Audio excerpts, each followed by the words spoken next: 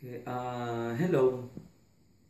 I think that my, my neighborhood is really a great place to live at because here I have many friends.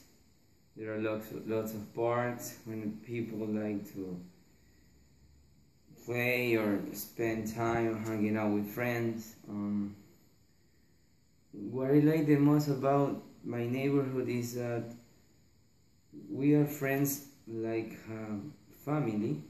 And I remember that I moved here when I was 12 and more than half of my, of my life I've been living here.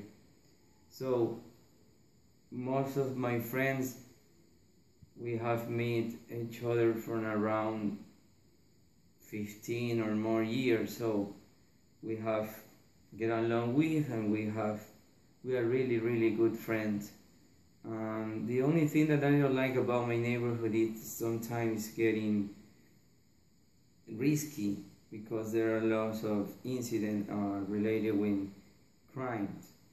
But in the past few years, this crime rate has decreasing because of the, the good decision of the government and the police department have improved and are doing a better job um, I think I wouldn't I wouldn't get used to live in a suburb because there people only focus on their life and they only say good boy, good good morning and good night and they don't have like a, a good relationship and then don't become friends. So I wouldn't change my neighbor from for nothing. I'm really really happy to be here and I think I wouldn't move.